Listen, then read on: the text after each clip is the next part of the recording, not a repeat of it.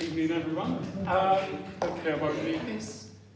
Now, I'm not going to give you a mini biography. Um, if you happen to be interested, there's one on the party website, but I actually don't think that's really relevant. Um, I will tell you that I live in the constituency and I've done so for the past 20 years, but I also recognise that when you vote, you're going to be voting for a party. You're going to be voting for policies values of a party for the pledges it makes in its manifesto.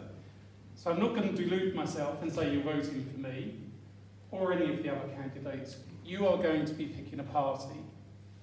And what I'm hoping, and one of the reasons I'm here, is to persuade you to vote for the party that you believe best fits the policies that you believe in and the values that you hold.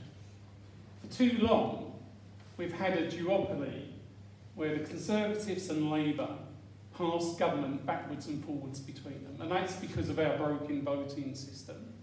We'll only change that if we actually vote for the party we believe in. So whether it's the Greens or the Liberal Democrats or Reform UK, if I ask you to take one thing away tonight, it's follow your hearts, follow your judgment, and back the party that best fits you. Thank you.